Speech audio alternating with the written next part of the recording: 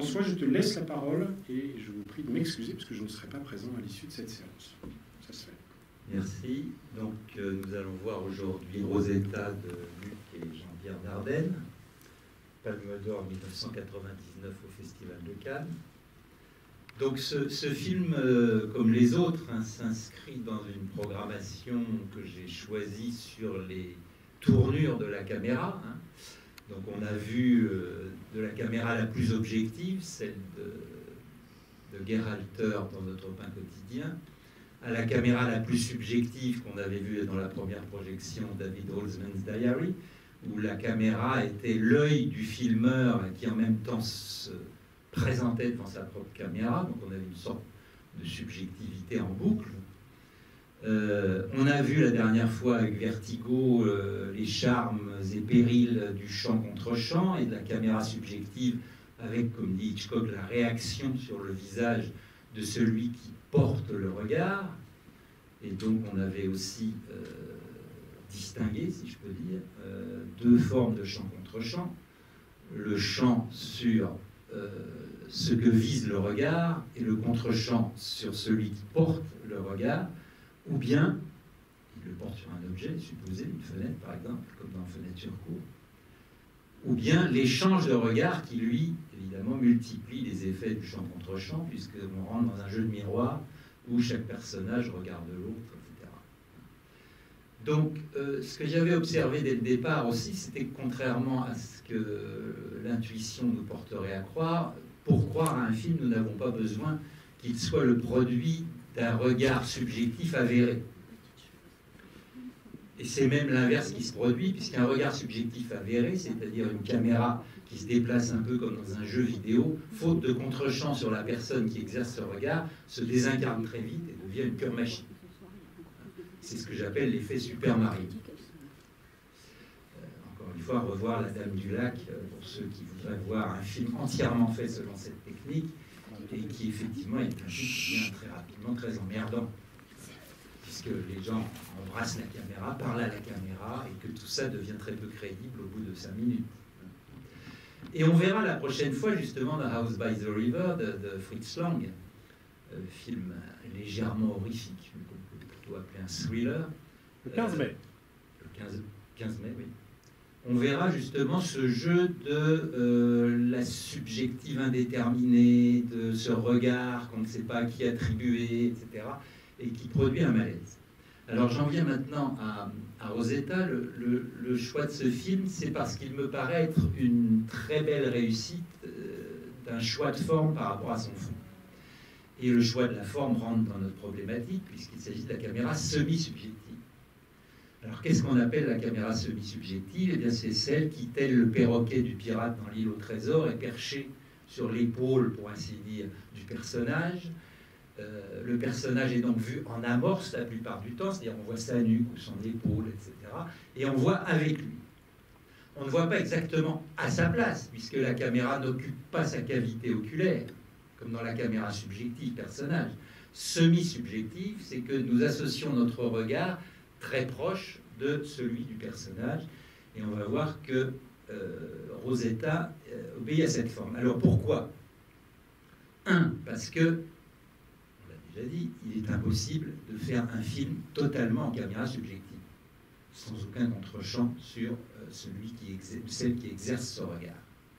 Et ça produit une fatigue du spectateur et ça devient absolument pas crédible très rapidement. Donc les frères Dardenne ont opté pour cette caméra semi-subjective qui fait qu'en en fait, on voit très souvent, et presque tout le temps d'ailleurs, le personnage principal à l'écran. Et notre regard s'associe au sien. Il s'associe ici dans, un léger écart, ou dans un léger retard, hein, on verra pourquoi, euh, qui crée chez le spectateur, qui bloque l'empathie, qui était ce qui est le propos explicite des frères Dardenne il ne voulait pas, il ne s'agissait pas de susciter la pitié ou d'entrer dans une logique victimaire dont sont spécialistes les médias. Il le dit dans, son magnifique livre Au dos de nos images, euh, Luc Dardenne. Et puis, formellement, pourquoi est-ce que cette forme, justement, correspond au propos? Eh bien, c'est qu'il s'agit d'une jeune femme, qui a eu d'ailleurs le prix d'interprétation, sous certaines huées d'ailleurs, n'était pas encartée comme comédienne professionnelle. CUE me parle très déplacé, parce que la carte syndicale a à voir avec l'art, mais bon, il y a des moments où ça paraît se rejoindre. Donc euh, cette jeune femme est totalement enfermée, euh, on peut dire qu'elle est butée, mais parce qu'elle bute elle-même sur quelque chose.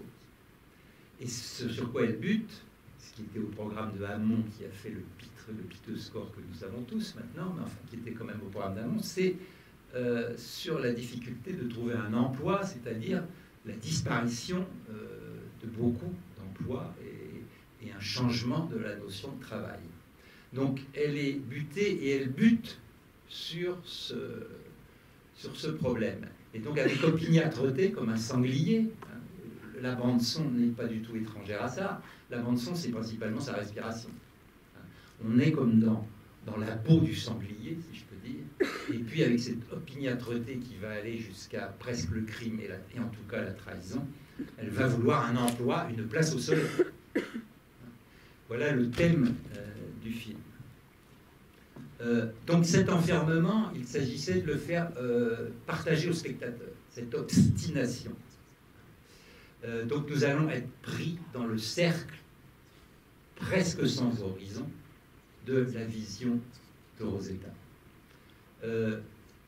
C'est-à-dire qu'on pourrait dire par une formule choc, si je peux dire, que l'exclusion de Rosetta, nous la partageons à travers ce regard exclusif, qui est un regard borné qui est aussi préserve une certaine opacité du personnage.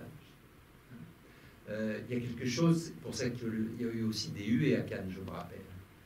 Parce que euh, la sympathie ici n'est pas vraiment de mise. Elle aussi se trouve un peu bloquée. Nous sommes là avec et en même temps dans un léger écart malaisant. Mais ce malaise, on ne peut pas l'attribuer aux frères Dardenne comme une perversion psychologique, puisque de quoi s'agit-il? D'un malaise social. Et c'est comme ça qu'ils nous le font ressentir. Alors, plutôt que de pousser plus loin l'analyse, puisqu'on reverra après le film des extraits, j'ai extrait justement au dos de nos images, très beau livre fait une espèce de journal tenu par, par euh, Luc Dardenne de 1991 à 2005, donc sur la période qui a vu leur premier très grand film de fiction, hein, La promesse, Le Fils, etc j'ai retenu quelques phrases qui me paraissent, euh, si ce n'est euh, éclairer directement ce film, allumer quelque chose. Alors celle-ci, au lendemain des élections, ça me paraît important.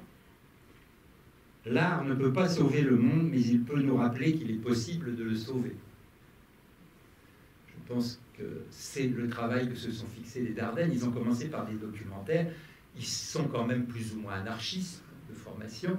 Et vous allez voir aussi que ce sont directement des descendants du néoréalisme de Rossellini et de Bresson, etc. C'est dans cette école-là, revue évidemment par la caméra portée du cinéma direct. Il y a quelque chose de profondément inesthétique dans ce film, hein, qui aussi a choqué en son temps. Parce que justement, il ne voulait pas entrer dans cet embellissement de adieu que la guerre ou la pauvreté est jolie. Alors, autre remarque, l'éthique est une optique. Vous voyez, là, on est en plein dans tout ce que j'ai dit ici euh, au cours des séances précédentes et même dans la problématique euh, qui figure et qui ordonne ces séances. Pensez le décor comme un désert. Effectivement, c'est soustractif. Il n'y a presque rien dans ce film. Il y a beaucoup de grisailles, euh, des choses très simples, euh, un étang, euh, une roulotte, une baraque de, de, gaufres, etc. Il y a un certain dénuement. C'est que Rosetta est ce qu'on appelait autrefois une nécessiteuse. Et il dit aussi dans son livre plus loin, le déterminisme économique est le destin de 15% de la population du globe. On était en 1997, je crains malheureusement que ce chiffre doive être euh, euh, revu à la hausse. C'est pour ça qu'aujourd'hui, la tragédie vient s'inscrire ici, dans une pauvreté, un dénuement, chez cette nécessiteuse, hein, qui est frappée par un destin tragique qui s'appelle l'économie. Le film est totalement d'actualité, bien sûr.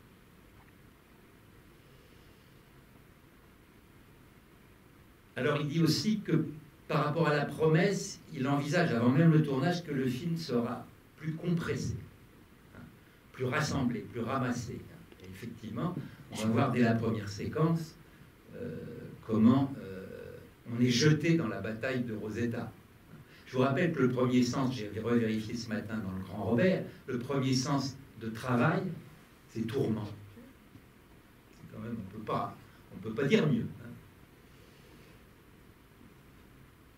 Autre remarque importante, Rosetta résiste, enfin le film Rosetta résiste à ce qui permet au spectateur de se projeter et de verser des larmes sur lui-même.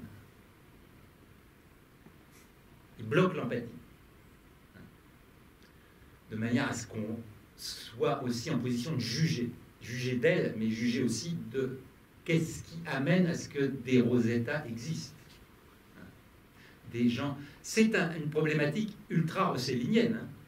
Le, premier film d'après-guerre de Rossellini, non, c'est pas le premier d'ailleurs, c'est le troisième, mais s'appelle Stromboli, avec Ingrid Bergman. Euh, premier plan du film, camp de personnes déplacées.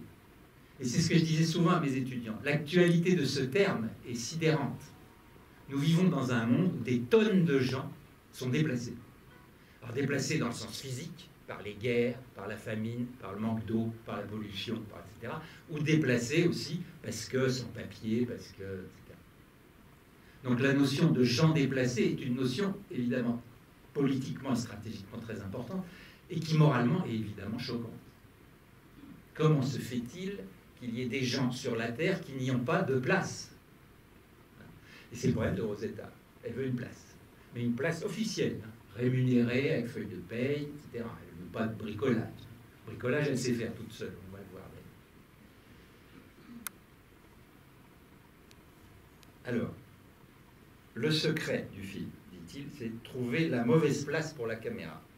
Ça, vaut le coup d'être lu, évidemment trouver la mauvaise place pour la caméra, faire en sorte que tout en essayant de la placer à la bonne place, à la place du regard du personnage, caméra subjective donc, elle ne puisse s'y tenir à cause de la position du personnage, d'un obstacle, d'un retard. C'est notre façon de créer du secret pour le spectateur, en même temps que de donner du secret, donc de l'existence à nos personnages ce léger malaise du décalage, on est avec elle, collé à elle, on peut dire que la caméra lui colle au basque. Et en même temps, il y a ce léger décalage, avec des fois des effets retard, elle regarde quelque chose, on n'a pas le contre-champ. Ou elle regarde quelque chose, et seulement après, la caméra va balayer, puis revenir aussitôt à elle. Donc c'est filmé avec beaucoup de ténacité et beaucoup d'habileté par rapport aux choix formels qui, comme ceux de Bresson, sont des choix radicaux. D'ailleurs, comme chez Bresson, les, frères Dardenne répètent jusqu'à 20-30 fois une prise. Jusqu'à l'automatisme. C'était la fameuse théorie de Bresson sur les mannequins. Hein, l'automatisme, hein, il dit, moi je ne travaille pas avec des acteurs, je travaille avec des modèles. Il épuisait les acteurs de manière à les débarrasser de toutes leurs affaîtries, préparations, etc., pour arriver à un certain automatisme. Et euh, donc, dernière citation, et puis on voit le film. L'autre rencontré au centre de notre solitude. C'est finalement ce qui va se passer euh, dans la rédemption finale. L'œuvre d'art émerge de cette adresse, de cette adresse à l'autre, hein, qui d'un seul coup euh, est rencontré au centre de notre solitude. Donc voilà, on va voir ce film qui dure une heure et demie. Et puis après, on reverra cinq extraits, j'espère qu'on aura le, temps, et on, les analysera ensemble. Voilà, bonne projection. Merci François.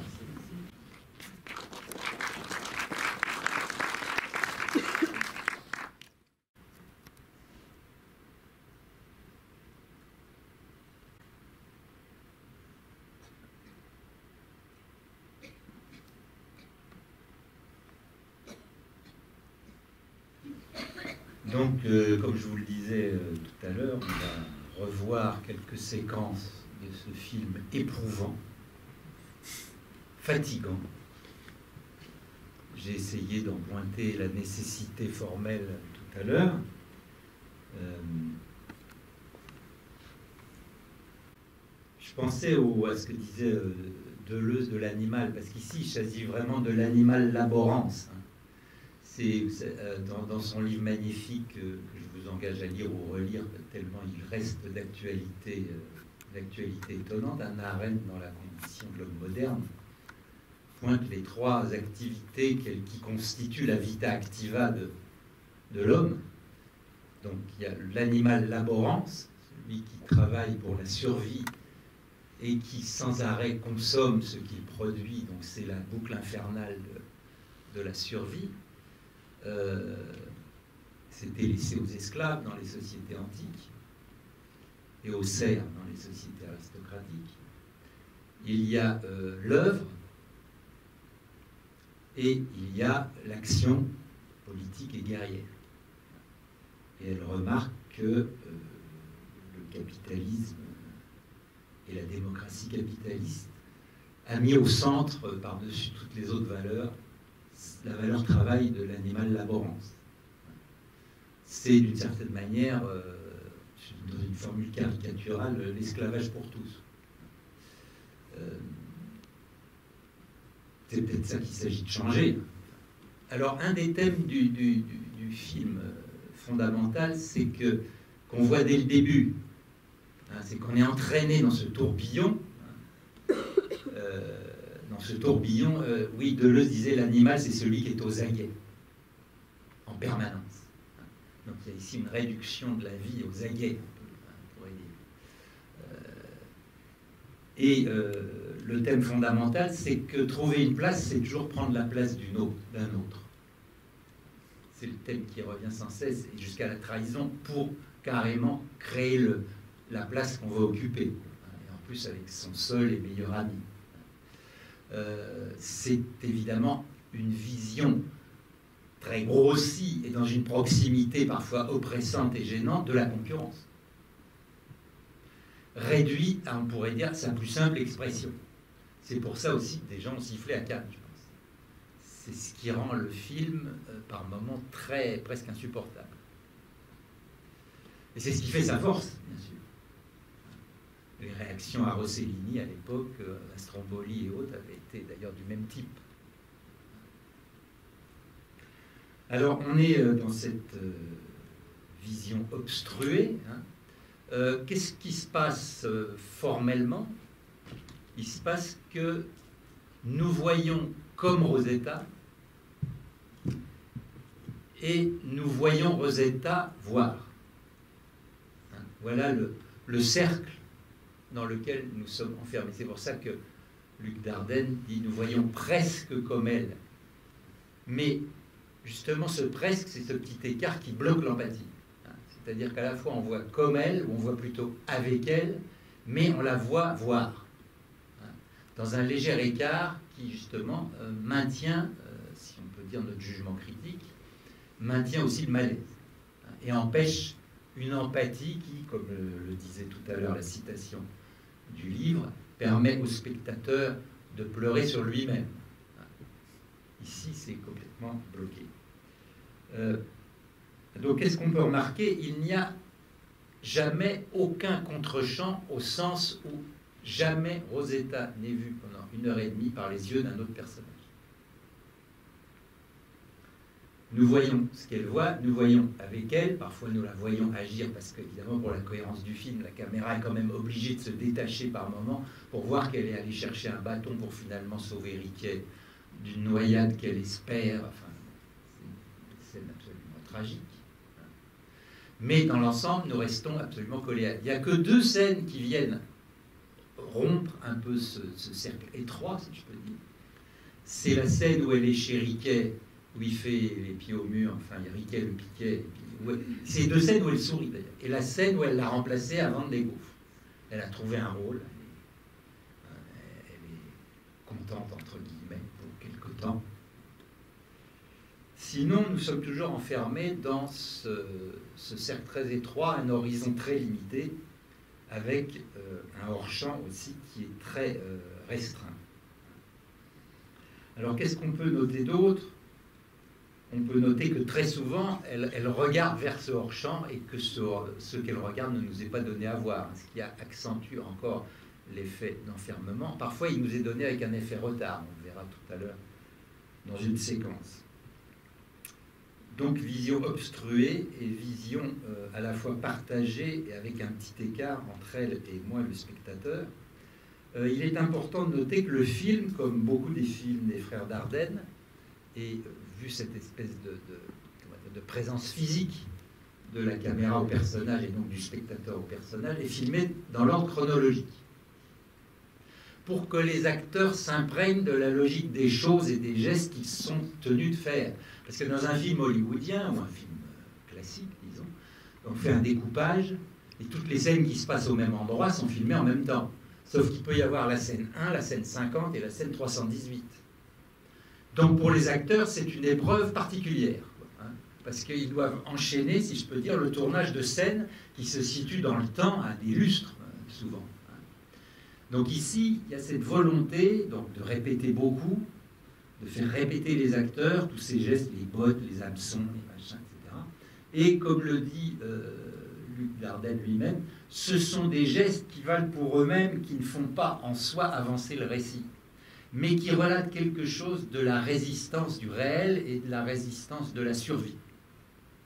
Chose toujours difficile à filmer. Euh, il ne s'agit pas d'enjoliver ici, il s'agit vraiment d'un côté presque paradocumentaire, de cette gestuelle euh, obsessionnelle qui aussi participe de la descente, de, la spirale descendante dans laquelle elle va se trouver prise. Hein. Donc pas de musique, des bruits de choses, les bruits des mobilettes qui sont très importantes parce que souvent elles incarnent le hors-champ qui arrive dans son champ puis passe. Dans la scène finale, évidemment, c'est ultra important. Euh, et puis cette respiration haletante de, euh, de Rosetta dont on a déjà parlé. Alors, on va revoir quelques scènes, puis après on pourra euh, discuter éventuellement. Donc, on va revoir ben, la première scène qui, évidemment, nous entraîne avec. C'est toujours un problème. Euh, j'ai un projet, je ne sais pas si je le ferai un jour, ça m'amuse suffisamment, mais il faut y arriver. J'ai un projet de faire une analyse de l'histoire du cinéma à travers les portes. Comment est-ce qu'on franchit une porte au cinéma? Parce qu'une porte, ça pose tout de suite un problème. C'est que si l'acteur passe la porte, qu'est-ce que fait la caméra? Est-ce qu'elle l'attend de l'autre côté? Technique Hitchcock, technique. Est-ce qu'elle passe avec lui dans. Est-ce que, voilà. bon. Ici, cet exercice est bien mené. Hein. il est mené avec une logique très particulière qui est d'effacer les portes dans le tournoiement, si je peux dire. Et on voit bien qu'on est collé à ces basques euh, dès le début. Donc on va revoir cette énergie du désespoir au travail, à laquelle on est associé euh, presque à notre corps défendant et où on comprend très vite qu'on y est pour une heure et demie, hein, qu'il n'y aura pas de répit. Comme il n'y a pas de répit dans cette vie-là, puisque la survie, c'est euh, consacrer tout son temps à la survie. Donc on envoie la première séquence, la séquence A, s'il vous plaît. Merci.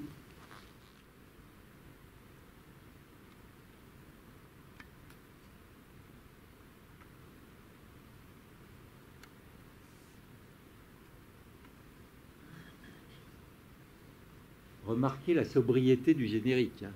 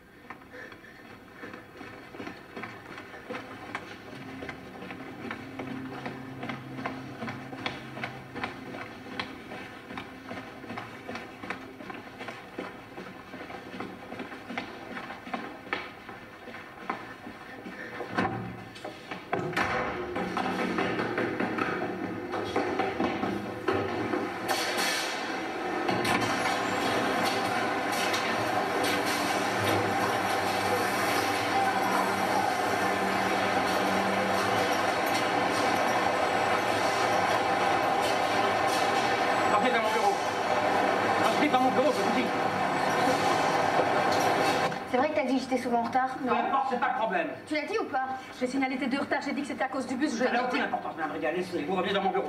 Pourquoi vous avez dit qu'elle l'avait dit Peu importe, ce n'est pas la raison pour laquelle vous avez été remercié. Je fais bien mon travail ou pas Oui. Alors pourquoi est-ce que vous voulez que je parte Je vous l'ai dit, vous avez été remercié parce que vous avez terminé votre période d'essai. Pourquoi moi alors que je fais bien mon travail Parce que vous êtes la seule à avoir terminé votre période d'essai. Allez vous changer, revenez dans mon bureau. Non. Allez, vous en prie. Arrête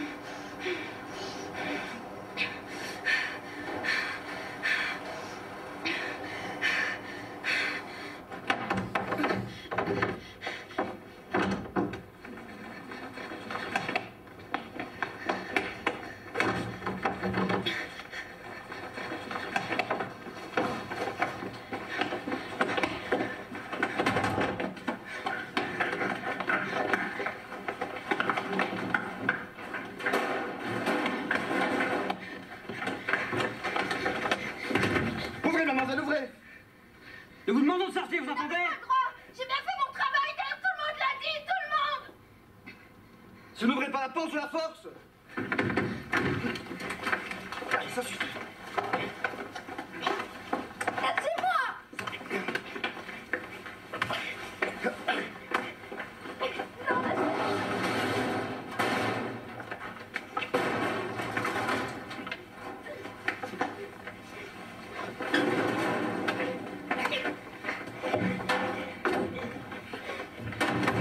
Voilà, donc nous sommes pris dans, dans cette euh, énergie, est-elle positive ou négative, un peu les deux à la fois. hein.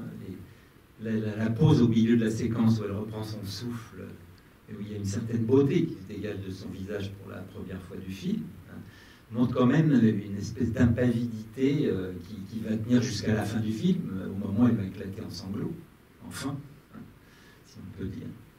Euh, donc voilà pour cette introduction où il y a évidemment un acteur important de, tout le film, c'est Benoît Dervaux qui tient la caméra, qui s'est entraîné à coller comme ça au personnage. Euh, Renoir disait à la fin de sa carrière, il va bien falloir un jour qu'on en finisse avec les traits de craie par terre pour marquer aux acteurs où est-ce qu'ils doivent s'arrêter pour que le cadre soit impeccable, etc. Et où il va falloir se décider à filmer nos acteurs comme un match de boxe. Je pense que les Dardennes ont écouté cette prédiction hein, et qu'ils s'alignent sur ce, mode de filmage. Casavets aussi, dans Faces notamment, euh, avait aussi filmé comme ça au plus près de ses acteurs. Donc voilà pour cette première scène. Euh, Maintenant, pour en voir un petit peu plus comment fonctionne cette idée que nous voyons avec elle et nous la voyons voir, je vais vous proposer, on, va sauter directement à la, à la scène C. Vous vous rappelez de cette scène des- euh, qui est à peu près au bout d'une heure de film, à l'entrée du camp. le- il y a une seule réplique dans cette scène, c'est juste avant la noyade. L'entrée du camping, c'est de l'autre côté. Donc là, la caméra est avec elle. On voit bien qu'elle se redresse, elle passe de profil. La caméra est souvent dans son dos, hein, presque sur son dos, collée ses basques. On la voit de profil et elle entend cette. Et puis elle voit quelqu'un, mais nous, mais nous on ne voit rien. hein. L'effet retard et l'écart est signifié ici clairement. Et puis on entend cette phrase hors champ la caméra vient balayer le patron du camping, et puis elle revient sur elle, hein, qui aussitôt commence à marcher, la caméra la suit, on entend la mobilette du gars, et puis il rentre dans son champ, il traverse, il s'éloigne, et dès qu'il s'est éloigné, elle se retourne et la caméra la resuit dans l'autre sens, et il y a la scène terrible euh, de la noyade. Alors prenons aussi la scène de la trahison. Euh, elle arrive avec le patron, et là encore, la caméra est derrière elle, elle, elle joue cette scène, si on peut dire, elle, les trois personnages sont affilés dans la profondeur de champ. Il y a Riquet de face, le patron de dos, et elle de dos, qui va le dénoncer, prendre les gaufres, etc. Et donc la, caméra, encore une fois, est une semi-subjective euh, classique. hein. elle est vraiment en amorce en permanence, et nous voyons comme elle ce, qui arrive, et ce qui est euh, presque la règle de tout film. La trahison.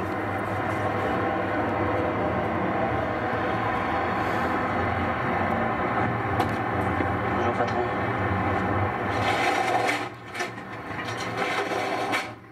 Où est-ce qu'elles sont? Quoi? Te fous pas de moi, où est-ce qu'elles sont? Donc on revient la prendre Tes gaufres, elles sont où? Et hop, Elles sont là.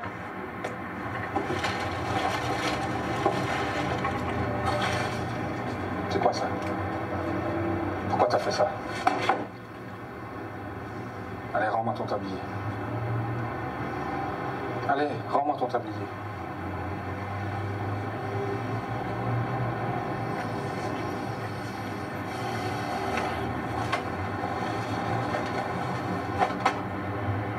Ramasse-le. Vous me trois jours.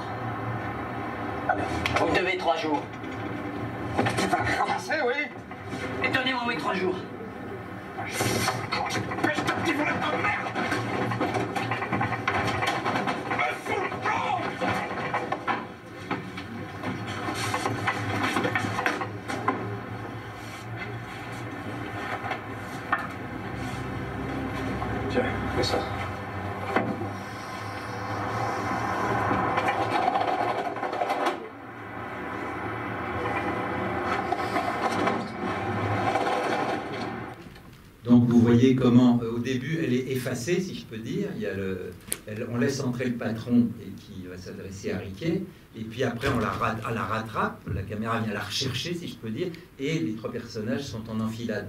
Il est évident que dans un film classique, euh, la scène ne serait pas du tout construite comme ça. Il y aurait les contre-champs de Riquet sur elle. hein.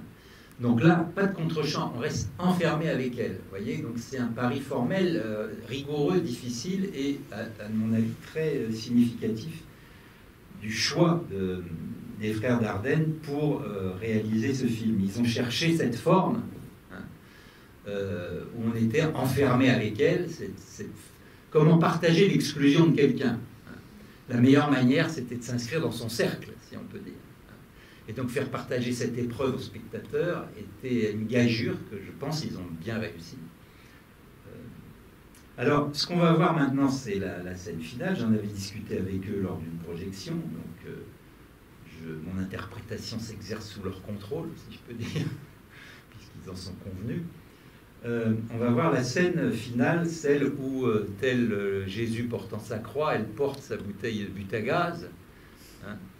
Euh, et elle va découvrir effectivement un geste gratuit, hein, euh, et qui est à la fois un geste de pardon et euh, un geste de rédemption pour elle, avec cette espèce d'encerclement qu'elle va subir avec la mobilette qui, comme un moustique, tourne autour d'elle, hein, décrit un cercle un petit peu plus large que le cadre, puisqu'il n'arrête pas de rentrer et de sortir par les différents bouts. hein.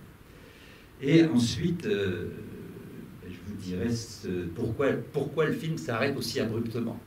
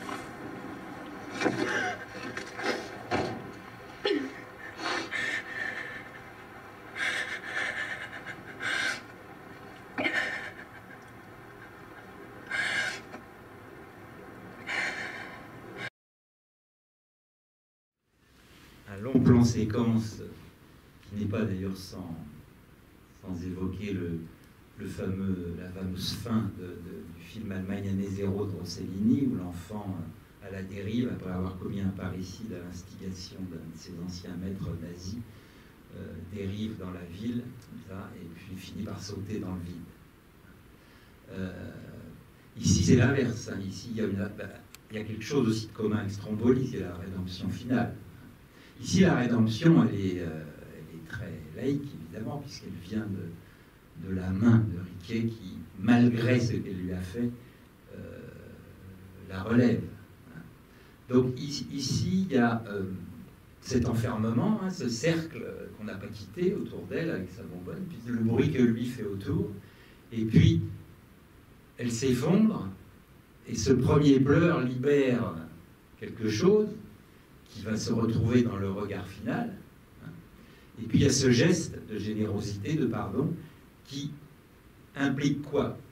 Et le dernier regard l'appelle aussi. C'est la première fois qu'elle le regarde comme ça. Il coupe, parce qu'à partir de là, c'est champ contre champ. Un espace commun vient de se créer entre deux êtres. Elle n'a jamais regardé personne comme ça de face. Il n'y a jamais eu cet échange gratuit où on reconnaît l'autre pour ce qu'il est et il vous reconnaît. Et donc, il coupe. Donc, j'ai demandé aux frères Dardenne si mon interprétation était juste, parce qu'on peut se tromper. hein. Ils m'ont dit absolument. C'est la logique du film. Ça ne peut. Ici, on entre dans un espace commun, on entre dans l'échange des regards, c'est-à-dire le champ contre champ. Donc, ça se termine sur ce regard dont nous n'aurons jamais le contre-champ, si ce n'est dans nos imaginaires, hein, mais qui boucle le film. Et heureusement, la boucle terrible est brisée à la fin. Elle sort du cercle grâce au geste de Riquet et la forme cinématographique parfaitement adéquate de ce regard qui vient chercher l'autre. Et évidemment, on coupe parce qu'il faudrait faire un autre film, ce serait une autre histoire. etc. Donc voilà pour ce film extrêmement maîtrisé malgré ses aspects turbulents, hein, avec ses choix drastiques comme savaient les faire Bresson ou Rossellini, et qui me semble encore d'une actualité malheureusement peut-être brûlante. Voilà, si vous avez. Merci pour la projection, malgré les petits. petites euh, erreurs qu'il y a pu avoir, soit dans mon plan, soit dans la. Est-ce que vous avez des questions sur ce, film? On trouve cette, manière de filmer, ils ont été parmi les premiers à le, faire. Enfin bon, il y a eu le, grand cinéma direct des années, fin des années 60, qui est devenu euh, tout un- une espèce de geste documentaire.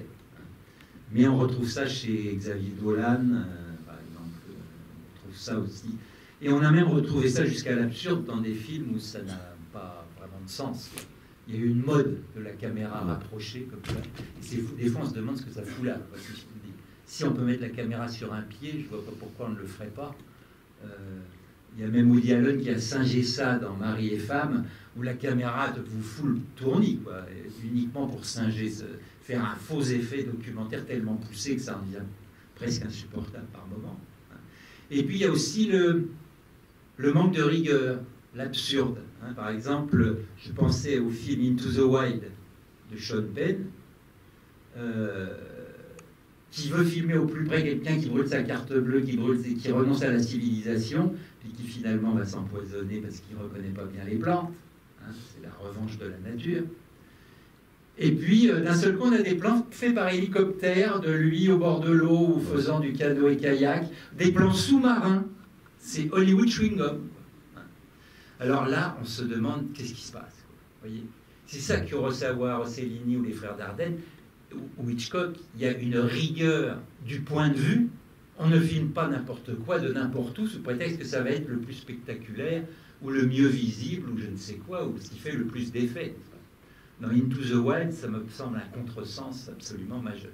la contrepartie, je trouvais, parce que Oui. moi je me souviens, donc quand j'ai vu le film, euh, il m'a pas plu. Il m'a pas plu à cause, à cause de ce côté systématique, côté répétitif Vous parlez de Rosetta, là? Oui. Ouais. Le côté répétitif. Ah oui, c'est fatigant, ouais. Toujours les mêmes, sans, sans- apparemment sans intérêt. euh, les, euh, le côté systématique. Je me souviens que les gens disaient, mais les Ardennes, c'est les gens, les cinéastes qui filment les nuques. Et ça Qui me- filment Qui filment les nuques. Oui, ça. C'est Un peu de ça, là. vous avez dit au début. Oui. hein. Et euh, moi, ça fait partie des choses qui m'avaient gêné dans ce film, quoi, de ce côté très systématique, Ouais. très mécanique, un peu, euh, voilà, quoi. C'est pas forcément positif. Oui. Enfin, mécanique, euh, je dirais pas ça, mais. euh, Non. Oui Moi, je trouve que la façon de filmer de cette façon-là, Allez-y, prenez le micro. excellent pour, pour filmer la pauvreté. Ben voilà, Parce que elle a, il faut qu'elle arrive, il faut qu'elle qu'elle- qu'elle fasse quelque qu'elle chose. tombe pas dans le trou. Et ça, cette façon de filmer, ça le montre ex- extrêmement bien. Ouais. Effectivement, c'est ce qui rend le film euh, potentiellement désagréable. Je veux dire. Parce qu'il y, a- quand même un challenge très difficile euh, qui est tombé dans l'esthétisme de la pauvreté. Beaucoup de films y sont tombés. Et, il y a toujours, moi, chez moi, ça crée une gêne terrible. Là, la gêne qu'on a, c'est autre chose. C'est on partage un malaise social, euh, voilà, et on partage cet enfermement. hein. mais, mais je pense que leur pari est- est tenu et réussi, tout à fait. Sans démagogie et sans empathie artificielle. C'était la, difficulté sur, sur ce sujet-là. Et puis, ils ont toujours aussi la volonté. Il dit Ah oui, c'est ça, j'ai oublié de vous le citer, ça, je trouve ça magnifique. Et, euh, Luc Dardenne, il parle à propos de ce film de transe morale. Hein le spectateur est collé à une sorte de transe physique parce qu'elle est comme sans arrêt en mouvement, etc., sans arrêt à lutter. euh, pour- Et, mais ça pose des questions morales radicales à une toute petite échelle. Mais Elle est pauvre mais digne. Oui, oui. Il dit son problème, c'est d'être debout. Mais euh, je pense que dans un cercle aussi étroit, on retrouve aussi les composants de, de la tragédie classique. hein. La trahison, la noyade, etc. Bien sûr. Alors, il y a l'interprétation de la femme. Oui, Son, son idée, c'est que. Est-ce que c'est de brancher, c'est de brancher le gaz Ben, c'est-à-dire qu'elle est, pauvre au point de ne pas avoir assez de gaz pour se suicider. C'est bon, là, c'est ce qu'on appelle l'ironie de la situation. Voilà, absolument, elle commence à se suicider. Donc, elle va chercher une bouteille. Heureusement, il lui reste un billet. Mais là, l'accident arrive, si je peux dire. Riquet arrive et interrompt le cours fatal des choses. Hein, donc, c'est une double rédemption. Elle, elle sort de son cercle obstiné et, et lui, en même temps, la sauve, sans le savoir.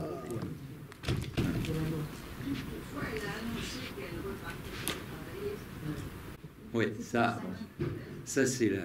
Je sais pas s'ils feront une suite un jour. Avec des chants contre chants, on la verra peut-être travailler. euh, je sais pas si, si elle reviendra dans la même entreprise. Oui, parce que là, elle a décidé de, bon, décidé d'en finir, quoi. Mais sans une larme, hein, avec un œuf dur, mais sans une larme. C'est pour ça aussi que le, le- le- le premier pleur a une importance euh, très forte par rapport à cette espèce de, de sanglier qu'elle est, qu'elle est devenue. Elle a la peau dure. Puis quand elle rentre dans les policiers ou dans le patron, au début, euh, elle y va. hein. Elle n'est pas sympathique. hein. Et c'est ça la force du film.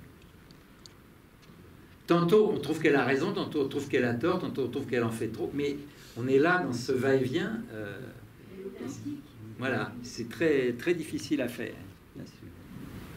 Il y a, il y a le- la scène où elle, elle le laisse se noyer. Oui, Sur le coup, bah, je me dis pourquoi elle fait ça? Pas- Il n'y a pas du tout d'explication. oui, absolument. Ouais, exactement. Il y a un effet retard, oui, bien sûr. Elle a déjà cette idée de. Oui, puis c'est en même temps, c'est pas quelque chose de prémédité. C'est quelque chose qui se présente là, mais on voit même quand même, elle saute sur l'occasion. Puis après, quand même, elle a, elle a un remords. euh, elle va chercher une branche, etc. C'est bien pour ça qu'elle n'est pas digne du coup. Mais elle est prise dans une logique euh, là, effectivement, qui est condamnable, mais euh, qu'on est obligé de partager sur le champ, si j'ose dire, parce qu'on est pris dans, dans, dans ses gestes à elle. On n'a aucune échappatoire. Mais, mais auparavant, sa, sa mère hein, dans la même situation. Oui, absolument. C'est très important qu'il y ait une amorce préalable. D'abord parce qu'on comprend qu'on peut s'envaser, même si mère, elle pas. Hein. Et ça, c'est très important. hein. Ça, c'est des choses de scénarisation professionnelle bien connues. Si vous voulez une scène très forte, il faut qu'il y ait une amorce quelque part dans le film, parce que revoir une situation, un lieu, etc., où la situation s'aggrave, Hitchcock est très fort là-dessus, on repasse par quelque chose, il y a un effet de déjà-vu dans l'esprit du spectateur qui vient s'ajouter à la puissance dramatique de la scène. Parce qu'on appréhende, au sens euh, fort du mot, avoir une appréhension. C'est beaucoup plus fort que l'effet de surprise, où tac, ça dure quelques secondes, etc. Pour le comique, Laurel et Hardy, par exemple, annoncer le gag qui va arriver peut euh, augmenter son effet au lieu de l'annuler, bizarrement. Et c'est pareil pour le thriller. Oui, Est-ce que vous diriez que comme Pierre Loach, les frères Dardenne, ils font un cinéma uniquement politique? Oui. Ou est-ce qu'il y a un, côté artistique Parce que c'est la politique qui, qui domine dans leur œuvre. Euh, oui, mais ce qui. Oui et non, enfin ça dépend qu'est-ce qu'on met sous le mot politique, c'est toujours la même histoire. Au sens de analyseur social, oui. Tout leur cinéma est un analyseur social. Et ils, ont, ils sont belges et ils sont issus d'une région où qui a été euh, vraiment un cataclysme pour euh, toutes les industries ont fermé. Donc les gens se sont trouvés sans emploi, etc. Donc ça, ils sont, là-dedans et c'est ça, et c'est ce sujet-là qui est au cœur de beaucoup de leurs films. Mais en même temps, c'est bien sûr, c'est pas des films de propagande, c'est pas des films politiques au sens où il n'y a pas de message politique. C'est plutôt au niveau des rapports. C'est ce qu'il dit. Il dit finalement, il n'y a pas tellement de, de sujets, ça se construit. C'est ce que disait Bresson. Comment arriver à construire un film sans intrigue, uniquement sur l'espace entre les personnages? Bon, ben, c'est un pari comme ça. Wenders a essayé aussi. Il a un peu échoué, il le dit lui-même, hein, dans l'état des choses et autres. Comment? Parce que l'intrigue est un piège. L'intrigue peut être un piège, c'est le piège mécanique du scénario qui va de A à Z, dans la formule hollywoodienne, où chaque effet a une cause, chaque cause produit un effet, etc. Mais la vie, c'est pas comme ça. La vie, c'est le bordel, c'est mon expression. Euh, c'est ce que disait un historien de manière assez drôle. hein. Il disait tous les effets ont des causes, mais évidemment, on ne voit jamais les causes qui restent sans effet. c'est c'est une manière rétrospective de faire. On fait toujours l'histoire de manière rétrospective. Il y a un danger dans l'intrigue, c'est le mécanisme scénaristique qui enchaîne les choses avec une logique militaire. Alors Hollywood, ils sont évidemment jusqu'à plus soif. hein. Mais comment laisser, c'est ce que disait Rossellini, comment laisser sa part au hasard, au geste, à la rencontre, au fortuit, à l'indécis, etc. Les Américains, Hollywood, avaient coupé la fin de Stromboli pour en faire une idée qu'elle va.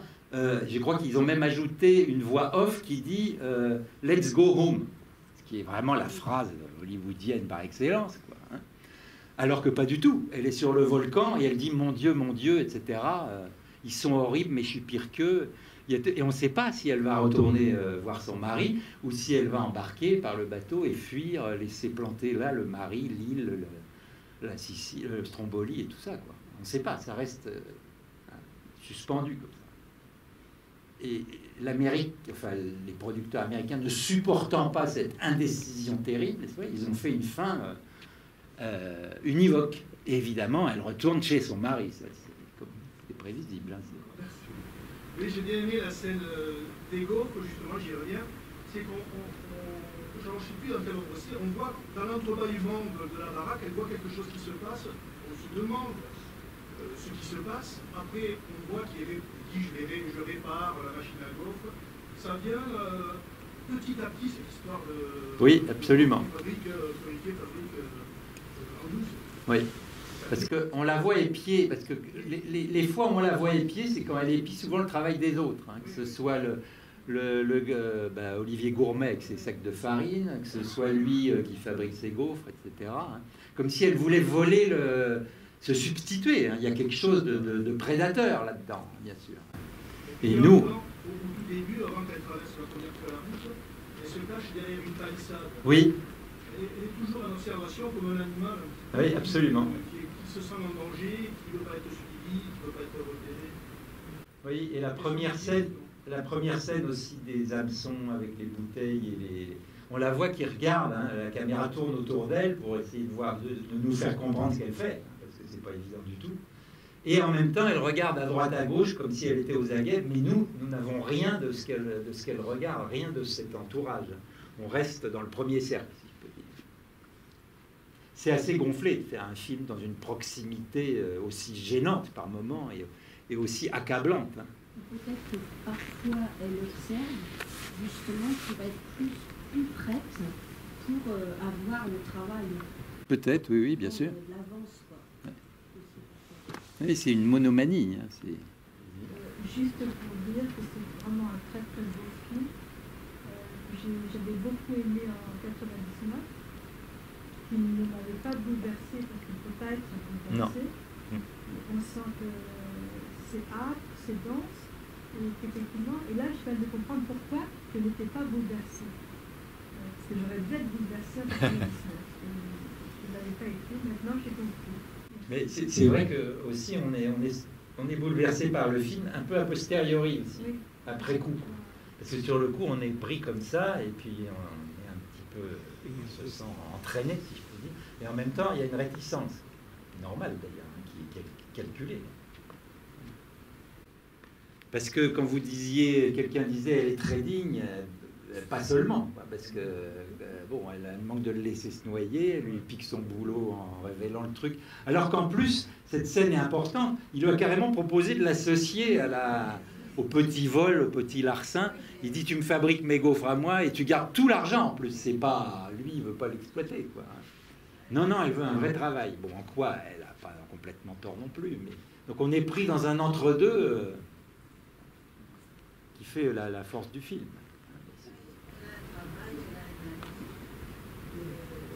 Et a du gaz. Qu'est-ce que vous voulez de plus Alors on va dire que c'est un happy end. Donc la prochaine fois, ce sera House by the River, qui bizarrement n'a pas de titre en français, maison au bord du fleuve, de Fritz Lang, où nous verrons ce que j'appelle la subjective indéterminée, c'est-à-dire cette caméra angoissante qui d'un seul coup se met à, à se déplacer comme si elle menaçait les acteurs, dont ne sait quel prédateur, euh, présent dans le hors-champ, mais prêt à sauter dans le champ d'une minute à l'autre. Tous les grands du thriller ont utilisé ça. Merci. Le 15 mai? Ah oui, d'accord. le 15 mai. Merci à vous.